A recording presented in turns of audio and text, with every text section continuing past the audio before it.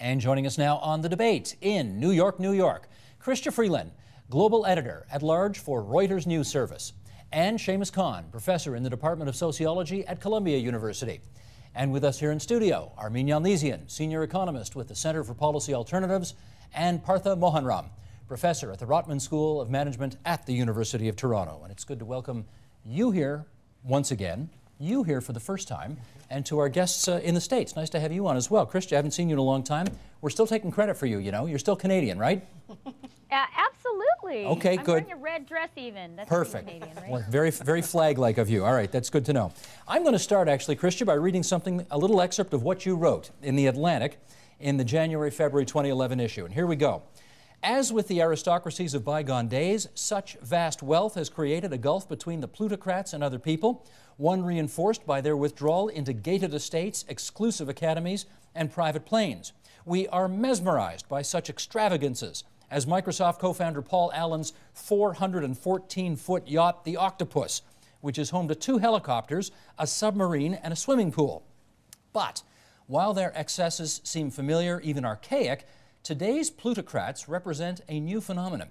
The bulk of their wealth is generally the fruit of hustle and intelligence, with presumably some luck thrown in. They are not aristocrats, by and large, but rather economic meritocrats, preoccupied not merely with consuming wealth, but with creating it. Okay, Chrystia, follow up on that if you would, because that goes against all the conventional wisdom. So I guess my first question is one word. Really? Yes, absolutely. So a really big thing is happening that I think a lot of us, you know, are, are shy about talking about, which is there is this huge and growing income inequality with a winner-take-all phenomenon, particularly at the very top. However, what is also interesting, and, and you know, this is particularly the work of a guy called Emmanuel Saez at Berkeley and Thomas Piketty uh, in France, have found that this wealth compared to say you know the last time you had this kind of plutocracy emerging in the gilded age this time around these people are as emmanuel saez calls them the working rich they are generating much more of their wealth through their actual income through companies they've founded as opposed to being a hereditary aristocracy Shamus, should we take comfort from that?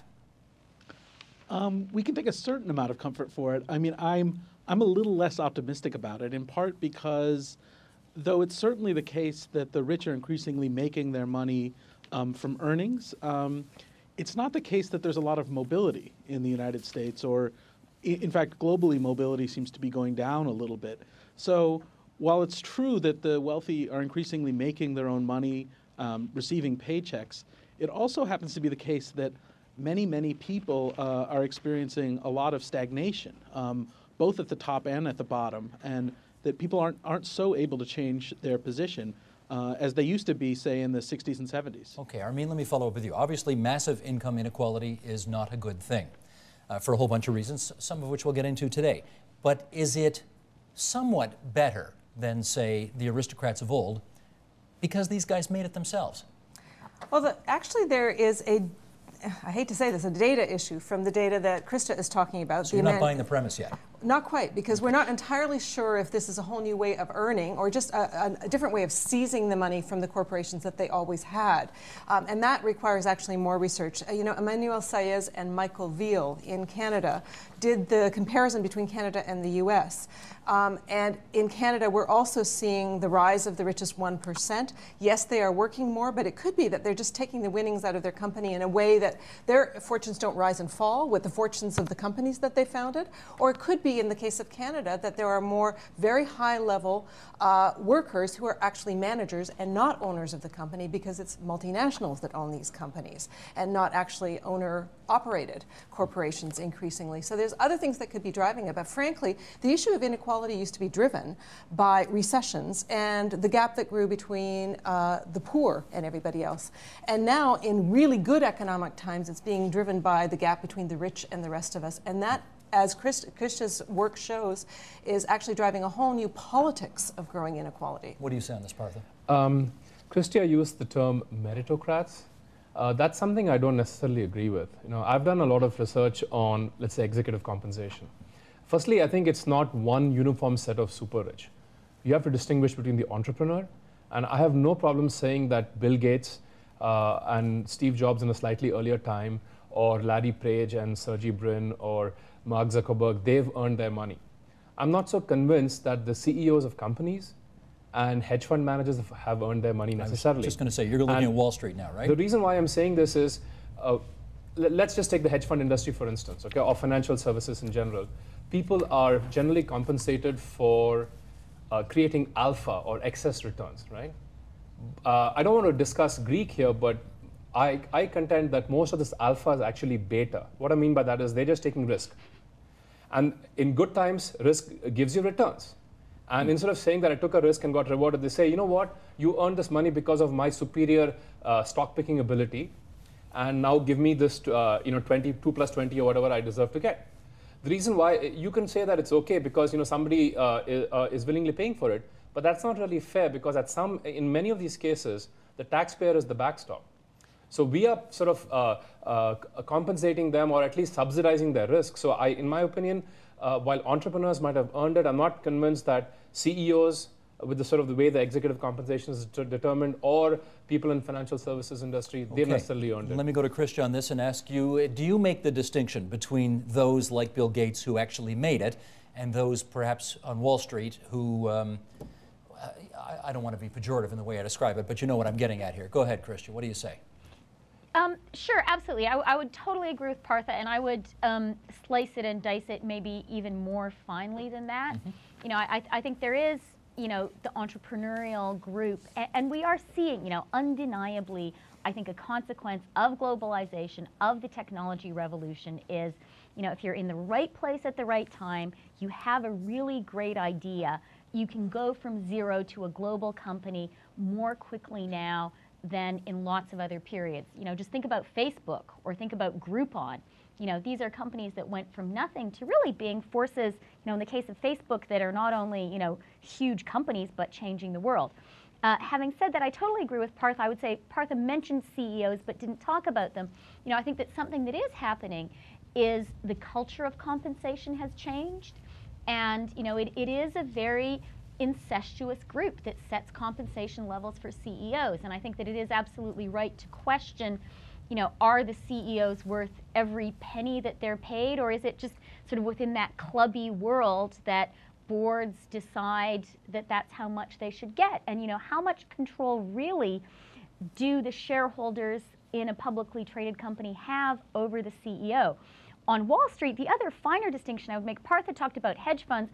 Actually, I think hedge funds uh, and people running hedge funds are the people who are the most entrepreneurial and benefiting the least from this kind of you know culture of compensation and from being bailed out by taxpayers. After all, in the financial crisis, the hedge funds, lots of hedge funds failed but they didn't have to be bailed out. The place where I think you're really seeing people making a lot of money, uh, but having the taxpayer bail them out when they make losses is in the big banks. You know, that, that's what mm. we saw on Wall Street, and that's a place where I, I do think we can raise legitimate concerns and say, you know, wait a minute, how come you guys are making tens of millions of dollars in salary, but then when your company is in trouble, you know, in places like America, the UK, taxpayers have to foot the bill. Shamus, what do you think on that? I, I mean, I, w- I would say that I think that the, the problems are much broader than than just the small group of people who are making a tremendous amount of money.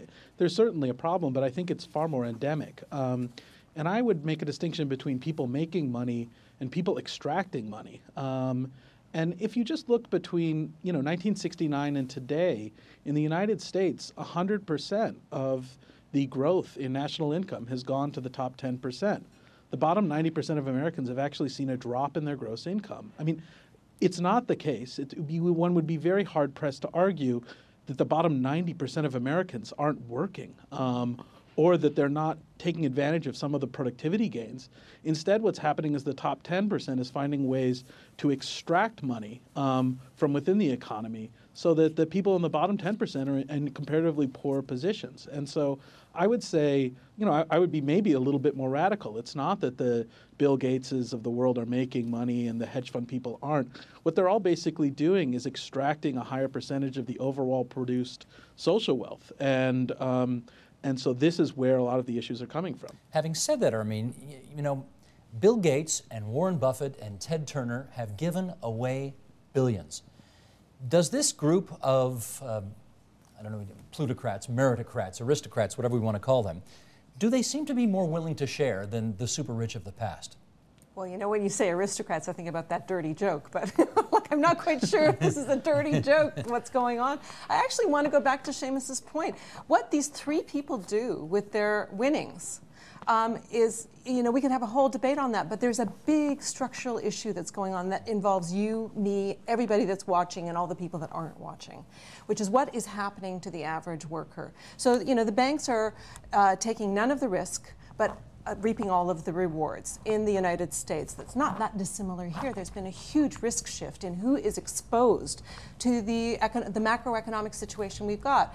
Our macro, uh, at, at the median level, 50% of the workers actually are working at a lower inflation adjusted rate than they were in the late 1970s. They're better educated, they're working longer hours. What gives? You know, this is about the social contract. And I don't, I don't want to actually overstate this, but there's something going on around the world. And when you take a look at how far you can push people into saying, play by the rules of the game, but only we're going to win and you're going to fuel the way we are winning. But you're talking government policy here, right? No, I'm talking about the culture that uh, Chrystia's been talking about, the culture of entitlement as to, way, to the way the bosses are being paid. That's supposed to be okay, but if you're a public sector union, you're entitled to too much. Suddenly, having a pension is too rich. You should be taking a wage cut. You should take a look at what's happening in Madison, Wisconsin. Suddenly, a, a, a, piece of paper that had been signed, a contract, is being thrown out the window. Why? Because suddenly the public sector workers are the reason why the government is facing a, um, a deficit. Like something weird is going on well, here. We did do that in Ontario to, 20 years ago too. Remember? Indeed, and yeah. and I guess the question here is, you know, who's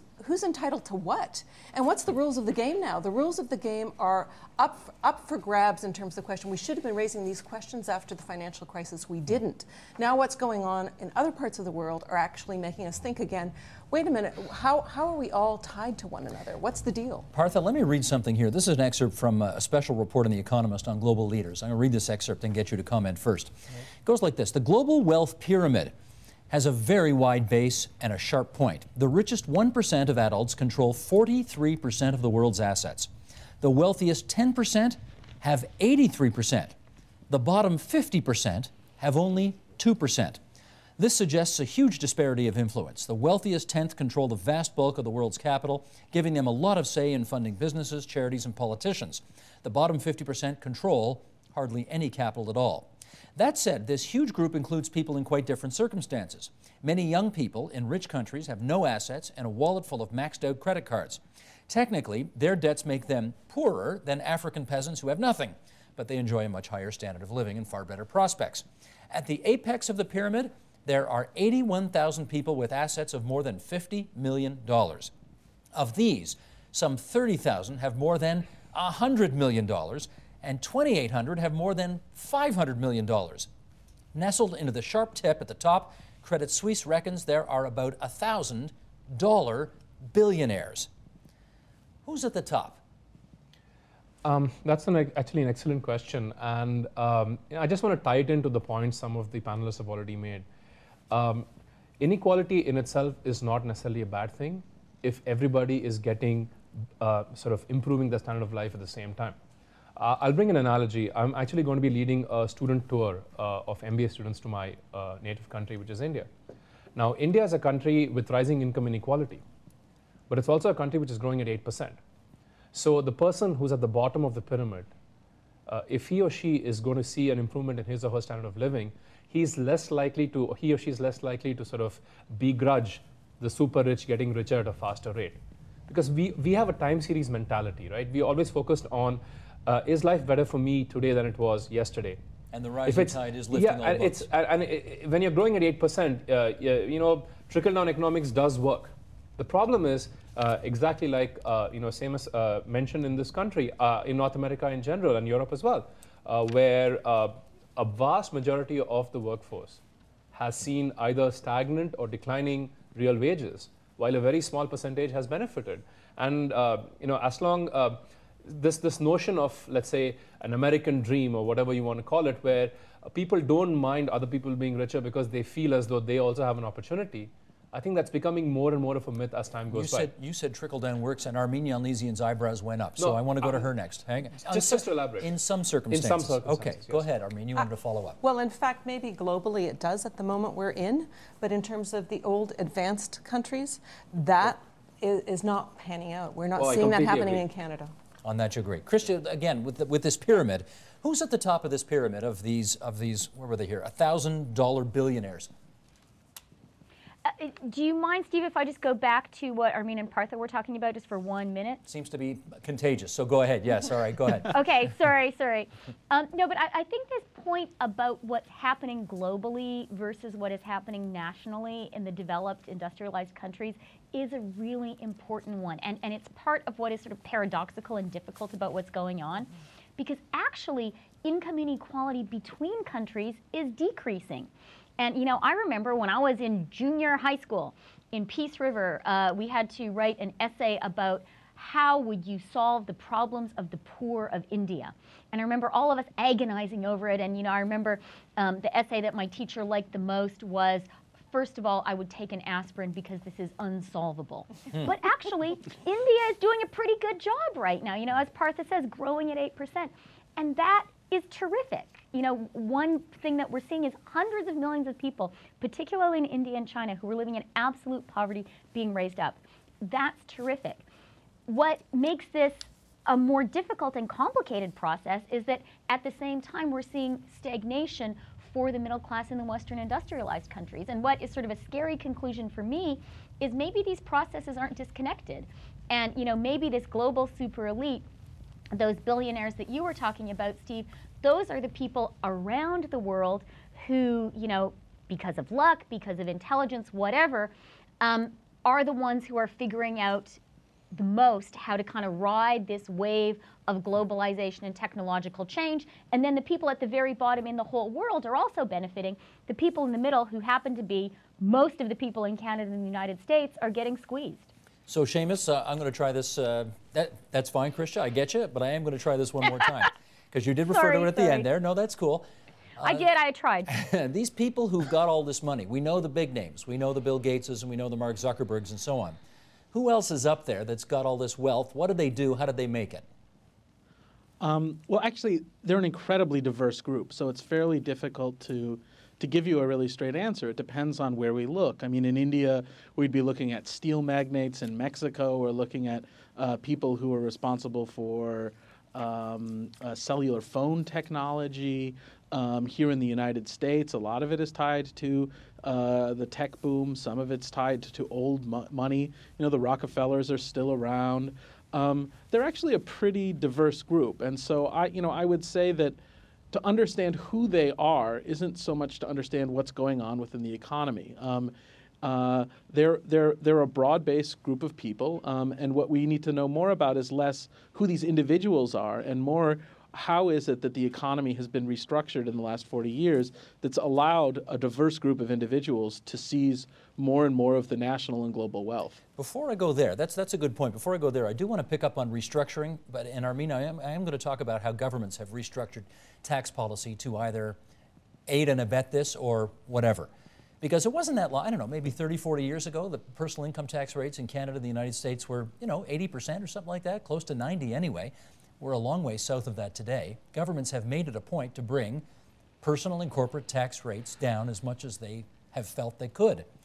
Has that contributed to all of this? Without question. And you know, that has been, irrespective of political stripe, every government has cut taxes. That has been part of our drinking water for the last 30 years, and it connects to the trickle down uh, theology. Which is that if you give the rich more money, they'll invest it, that'll create, create more jobs, everybody will be better off. And globally, that might, in fact, work. But domestically, it did not work. And what happened, as you mentioned, is uh, well, the, last, the, the top marginal tax rate in Canada was 80% in the late 1940s and the early 1950s. And that was on incomes that, if you translate them into Canadian, into current dollar terms, would be about on incomes above $2.5 million. Now, we have people that make more than $2.5 million today. The top marginal tax rate is something like 29%, hmm. and it kicks in at about $135,000, which a lot of people that make more than that feel like they're, they're in the middle class. They don't feel like they're the rich. So what we basically said is, we want you to keep your money. We don't want you to, now, mind you, the rich people contribute most of the personal income taxes. At the same time, we've also been cutting corporate taxes. So we're basically saying taxes are a bad thing.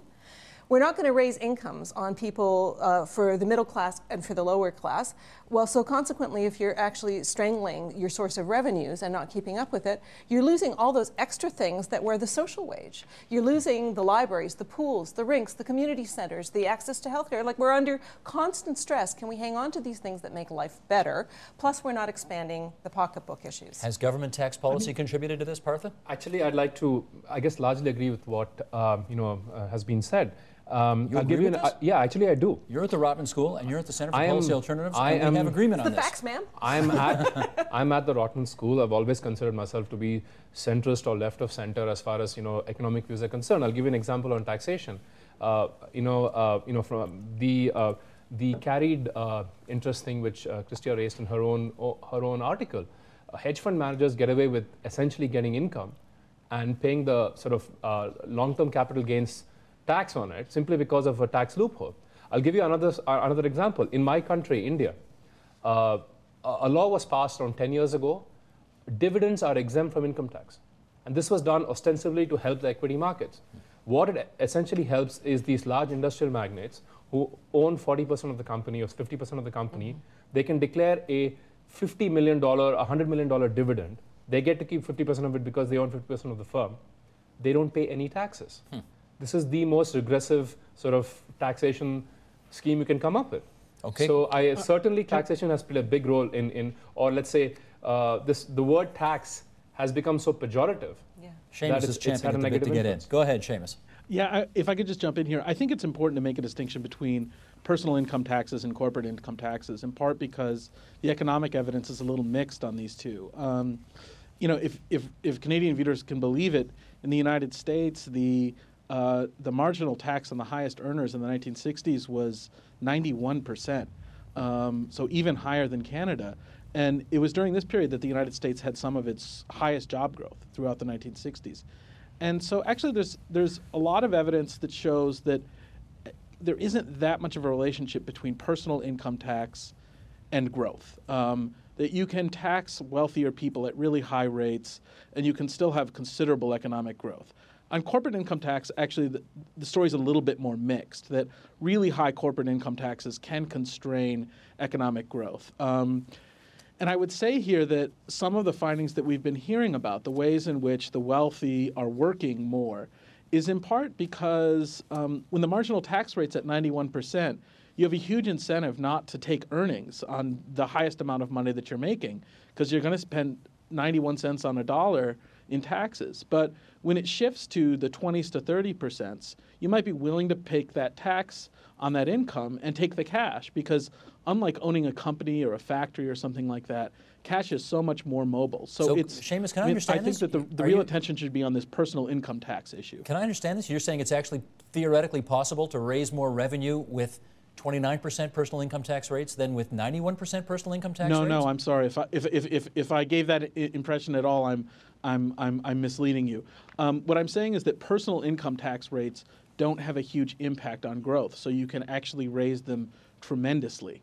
Um, uh, without really affecting uh, the overall wages of the nation okay. um, or the overall employment of the nation. Gotcha. Let me get Corporate Chrystia on this tax then. is a different story. Let me get Chrystia on this, just on this whole issue of how government tax policy has either uh, helped or hindered or whatever the uh, meritocrats that you've been writing about in the Atlantic. Um, well, sure. So I'm going to boringly agree with what everybody else has said that you know tax policy has sort of leaned into the phenomenon, but I, I do think there are two important things to bear in mind. One is, you know, particularly in the United States, where probably, you know, tax policy and, you know, the intense belief in free markets and in trickle down economics has been strongest, there has been a real pushback and I think an effort, particularly on the left, to attribute this rise, the emergence of the plutocracy, almost exclusively to politics and to tax policy. And that I think is a mistake. You know, I think certainly politics, in particular taxes and de- deregulation of the financial sector has contributed to this, has intensified it. That's part of the reason you see more income inequality in the United States than you do in Canada. But I think we have to accept the fact that there are some bigger sort of global economic phenomenon driving that. And if you don't appreciate that that's part of what's going on, I think that you can't, you know, really understand how to work with it. The other thing is I think that Shamus makes a really good point, and, that, and that's part of why this is such a hard issue to deal with, which is we do actually want more growth in our economies, particularly innovation-led growth. I mean, think about Canada. It's great that Canada has RIM, isn't it?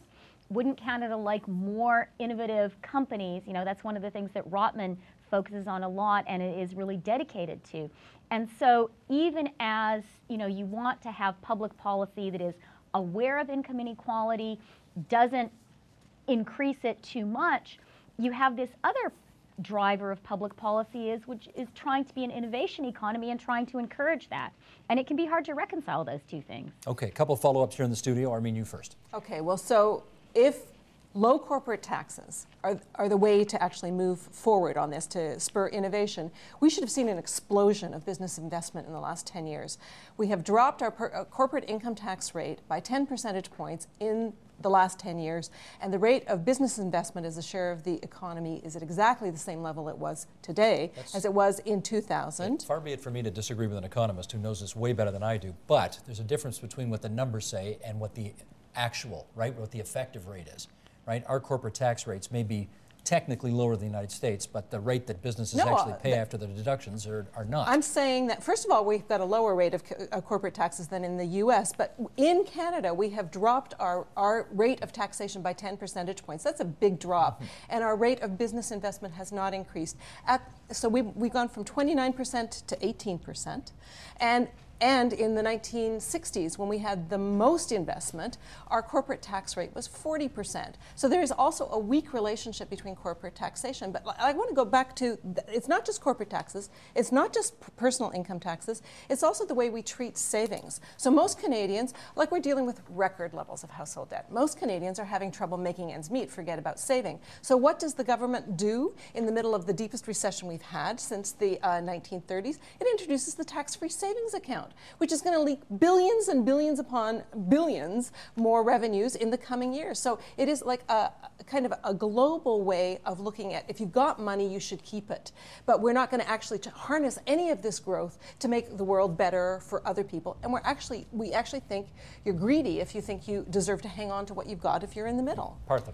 I'd just like to sort of um, mention that there's not necessarily complete agreement among the plutocrats on taxation. Just take the whole estate tax issue, right?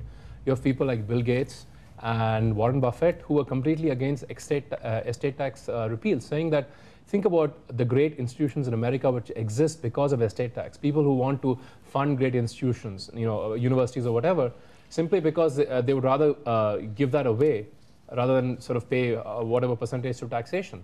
So I think um, the other the issue about taxation policy is taxation also spurs uh, charitable giving, which, is, uh, which sort of picks up the slack in many cases where the government is either unwilling or unable to do so, whether it's higher education, research, and so on and so forth.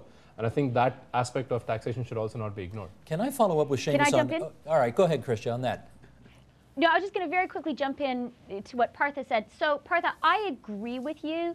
And I, you know, was tremendously encouraged. You know, Warren Buffett also has been um, very strongly uh, in favor of a change to the treatment of carried interest, which is this absurd thing where, you know, as Warren Buffett puts it, he pays less tax than his secretary. Um, and, and I was very encouraged by that. What has been astonishing for me, though, is Barack Obama is a Democrat, uh, and yet they haven't changed the taxation of carried interest. And a big reason is because the Wall Street lobby on this issue is tremendously mm. strong. It's tremendously well funded. And a lot of the guys who are funding it are Democrats. You know, I have talked to people who have worked in Democratic administrations who gave money to Barack Obama to be elected, who, you know, I thought were like good progressive guys, and they give you this really impassioned line about how, you know, if the tax on carried interest is changed, you know, that's a crime. Two, two, Partha, two- go ahead. Two names mm-hmm. Larry Summers and Bob Rubin.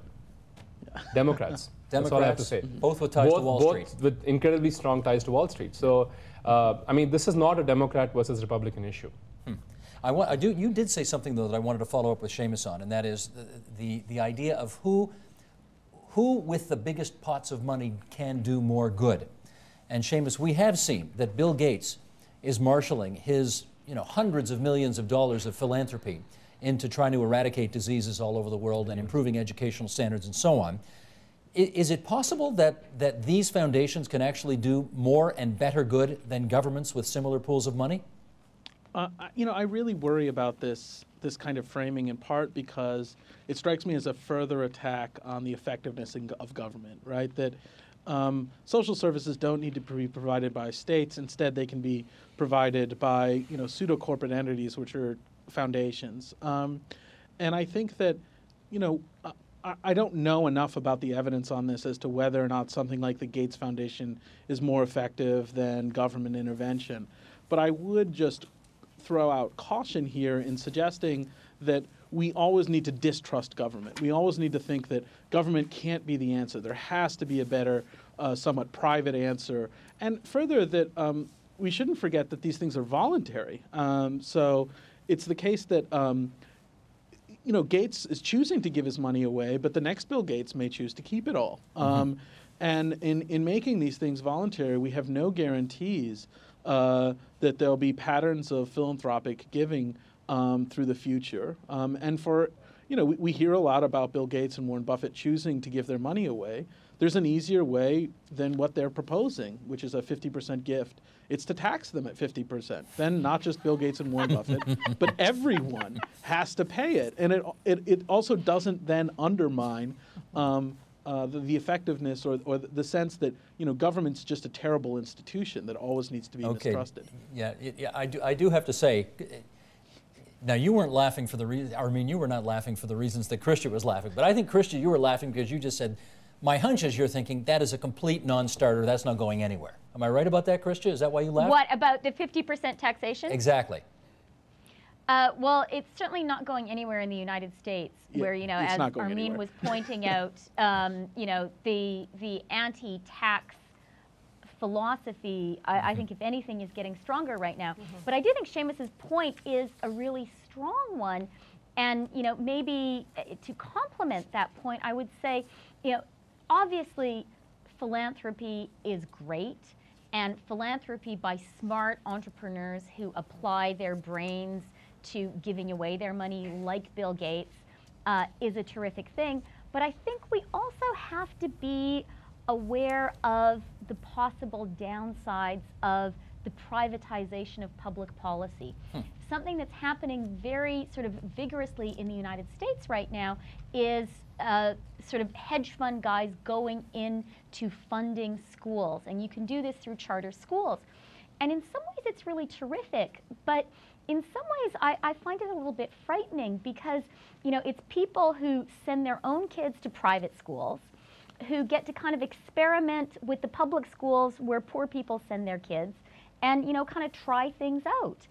To me, that, that's a little bit worrying. You know, as Shamus was saying, you know, some of these things actually we want the government to be doing with all, you know, sure, government bureaucracy is, is slow and ungainly, but at least it's publicly accountable. All right, Armine, a few minutes to go. You, you're nodding your head through that whole speech. Yeah, absolutely. Because I, I mean, we look at the rise of these great philanthropists, and, and some of them are doing great stuff. But it is a kind of noblesse oblige sort of sentiment, right? And we we've been through this. This is like a story we went through 200 years ago. So there's going to be great philanthropists and there's going to be lousy th- philanthropists. But the point is, do you want somebody? Do you want the rise of the rich to determine who is the deserving poor or not, Well, or do you about want to actually? I mean, government is us.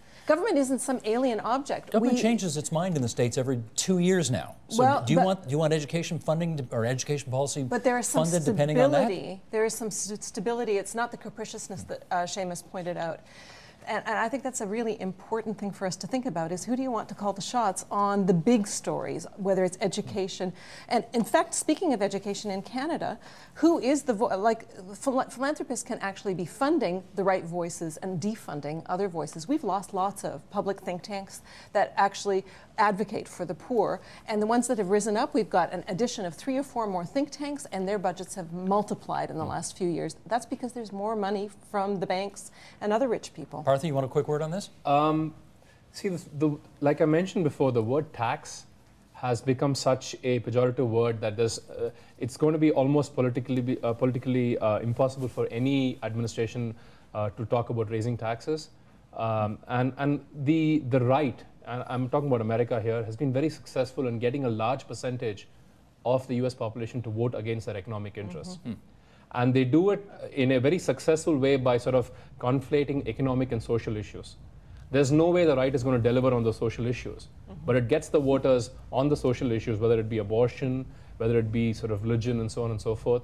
And by doing so, it's sort of it's able to get its economic message across. That's Although- that's just that's um, uh, a strong view I have, and that's why um, most of America is in the 90% we talked about, and they still vote against their economic interests all the time. Shamus, you want the last word tonight? Yeah, I, yeah, I just I, just to quickly jump in on this, um, with a little bit of hope. I mean, if you if you ask Americans to look at like levels of income inequality, um, they don't think they live in America. They think they live in Sweden. So they think that they live in a place where there isn't nearly as much income inequality as there is.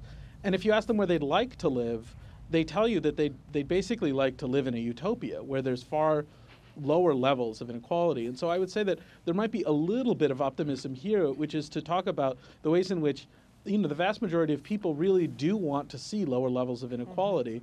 Um, and there are ways in which one can mobilize to think about how you might make such lower levels of inequality real, um, which will involve, you know, talking, I think, about tax policy. Although I am sensitive to the fact that it's more than just taxes.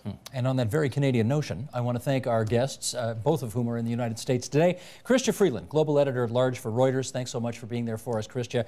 And Shamus Khan, Pleasure. Sociology Professor at Columbia, also in our studios in New York City. Thanks so much to you two. Thanks for having me. And back here in our studios in Toronto, Partha Mohanram, Rotman School. Rookie, rookie, rookie venture today on the program. Your debut, I guess is how we would put it. Nicely done. and Armine Yalnizyan, Senior Economist at the Canadian Center for Policy Alternatives. Thanks so much to you two as well.